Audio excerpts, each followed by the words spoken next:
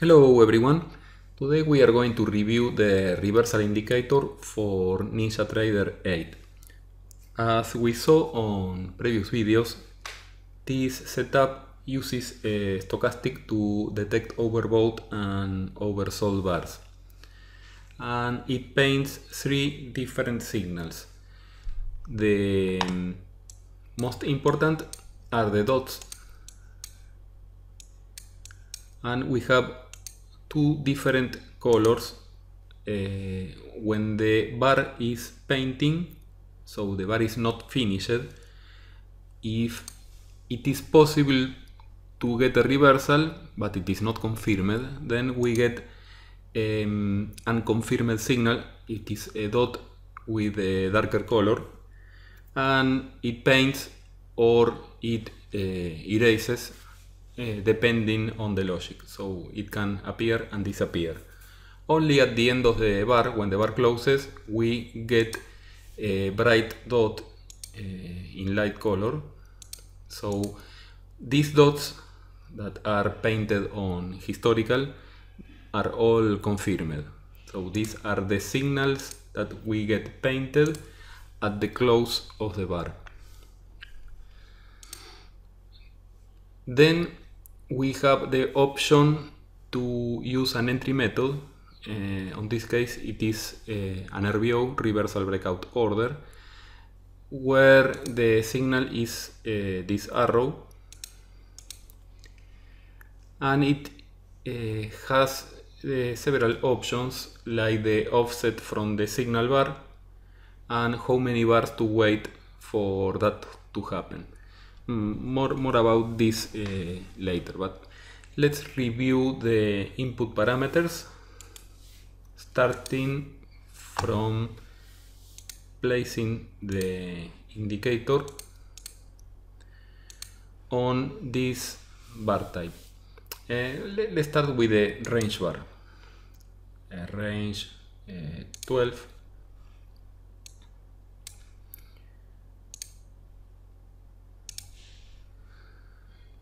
and then we add the indicator.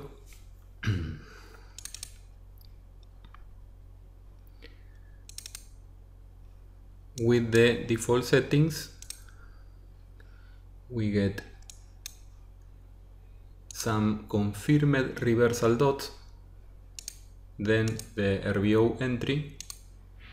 Now we have a confirmed reversal but no entry because there was no RBO and here we have a reversal long confirmed and also a long RBO entry.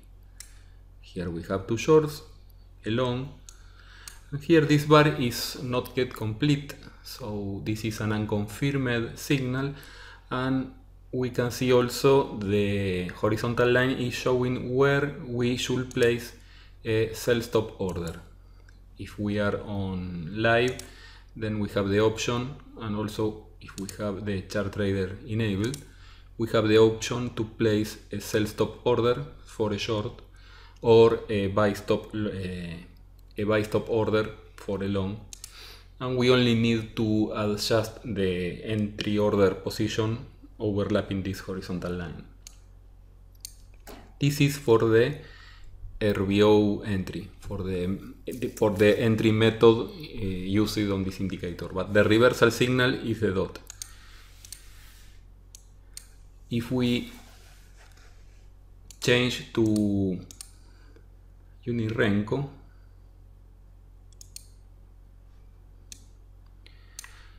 we can see that there are no signals and this is this may happen because we need to adjust the overbought and oversold levels. Usually we don't change the settings of the stochastic, only the overbought and oversold level. So let's review the parameters.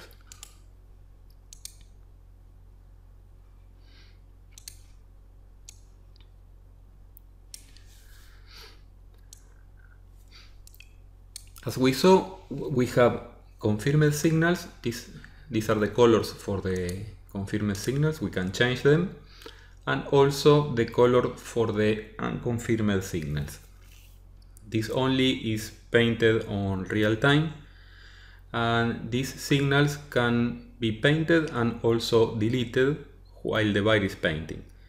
If for some uh, backtest purpose we, we need to, to, to see those signals, we can avoid to remove those signals. So at, at the end of the day, we may get all these uh, possible signals uh, all remain. By default, we usually want to remove the unconfirmed signals. We have the, the period of the stochastic, the smooth, and the most important is the levels for overbought and oversold. The small number is the oversold, the big number is the overbought. Those are levels between 0 and 100. And if we want to make these levels uh, less tight as it is now, because we don't have any signals, we need a less, a less tight configuration. So let's use instead of 15, 30 instead of 85, 70. And now we have all the signals. Usually on Unirenko we don't use the RBO entry. If that is the case, we can remove all the entry configuration. We can remove this horizontal line because we are not going to use the arrows and also remove the arrows.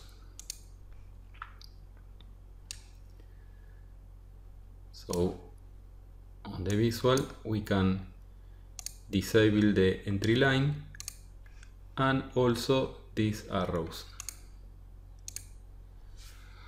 These arrows are related just to be sure how it works. Uh, if I place my offset, let's say, is a number very big, so we can understand how it works, and also a big number, that means that when I have a confirmed reversal, I place my entry order 10 ticks over the extreme of the bar, something like here, and then I wait for 20 bars. 1, 2, 3, 4. If I don't get a fill on the following 20 bars, then the order is uh, cancelled. As we can see, we got a fill on this bar, and so we get a, an arrow. If we go, let's say 30, 30 ticks, so it will be 10, 20, 30. My entry will be around this area. And here I have my arrow. Uh, maybe I don't want to, to have uh, an entry so, so far from my signal. My signal is here, my entry is here. So I can also limit the bar count So now my order will remain active only during 10 bars. The, the default of this is only 3, 3 bars and only 3 ticks. And again, this is mostly used on any other bar type than Unirenko. On Unirenko it is uh, not necessary because we can just enter at the dots.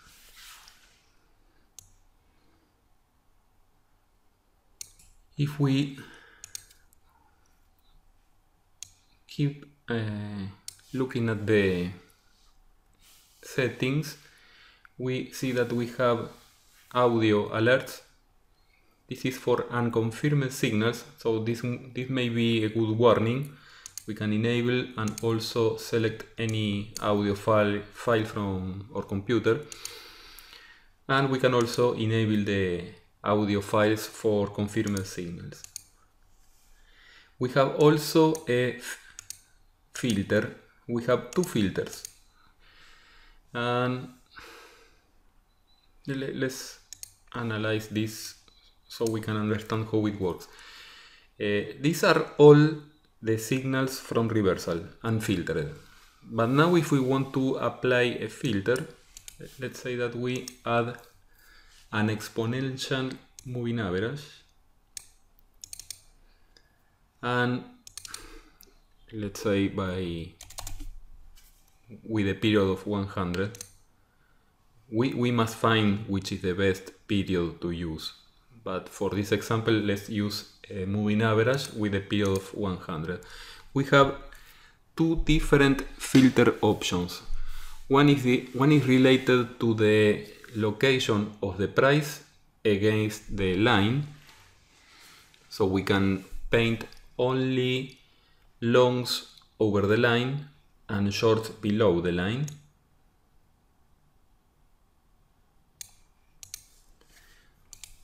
That will be the filter.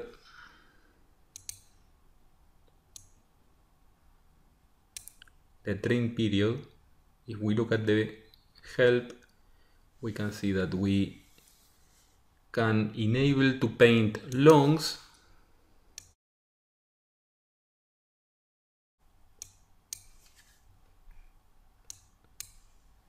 here we place the period of the line. And now we only paint longs if the if the close of the price is over the line. On this bar, the close is over the line, so we have a signal, a long signal. And on these bars, the close is below the line. So we only get the short signals if the close of the bar is below the line and only long signals if the, if the close is over the line.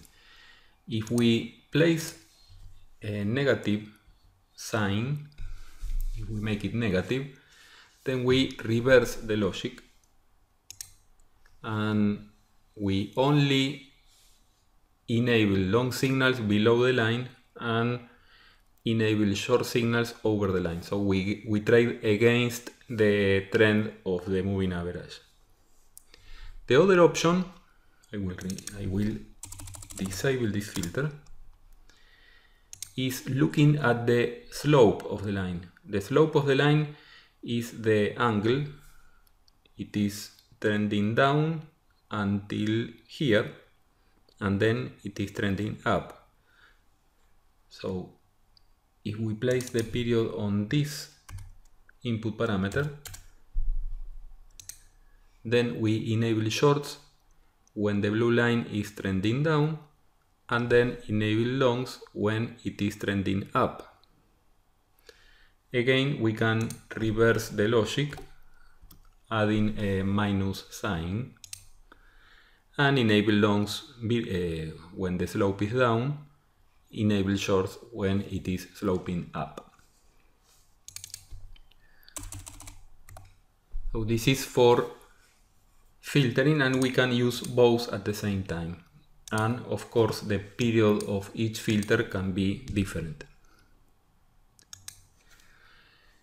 Another feature that we have available on NinjaTrader 8 is that each time we refresh a chart, all this is calculated on historical mode and that means that uh, we Ninja only uses the open, high, low and close only four items for each bar there is no intrabar analysis. Uh, that means that the intrabar signals, the unconfirmed signals cannot be painted. But now if we go to data series, this is new on NinjaTrader 8, we have the tick replay. The tick replay means that when we refresh a chart, all the bars are calculated on intrabar mode. Of course, it, it takes a bit longer than usual and also uses more memory. But anyway, if we click on OK, we can see that it takes a bit longer to calculate and paint the signals. But now it is finished. there are some indicators, not on this case, but there are some indicators that the results are not equal on historical mode than on real time. When we have it working during a day and we do a refresh, we get different results. So with this option enabled, now we solve the problem. So we, we can know how we, it looks, the results after a day of replay or live, uh, live playing. And this is useful because if we, on this indicator, we enable the unconfirmed signals and we make it to don't remove the unconfirmed signals,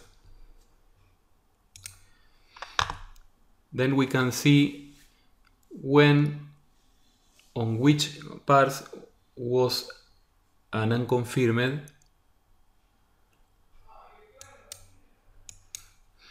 When, the, when this bar was painting, there was an unconfirmed signal, but and at the end of the bar, this was no, no longer confirmed. With the default settings, this will be uh, removed unless we set the option that we used now. Uh, this one, the remove unconfirmed.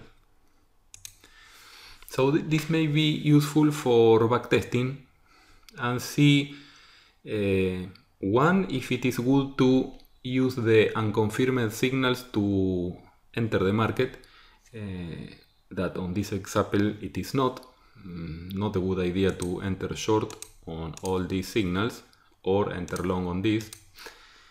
Or it, if it may be useful for an exit condition. So we can enter long on reversal dots, not, on the arrows because this is an, a, a unirenko, but on the reversal dots, on the confirmed reversal dots, and exit at um, an unconfirmed signal. So we could be entering long, exit the long, enter short, reverse into long, exit the long, enter short, exit the short, enter long, and so on. So, so this is a very interesting new feature, but, but of course uh, it takes a lot of time to recalculate, so we should always have it disabled unless we, we need it. And this is everything uh, that we have on this new on this version for NinjaTrader 8. Hope this has been useful for you and if you have any question please post below this video. Thank you everyone. Bye bye.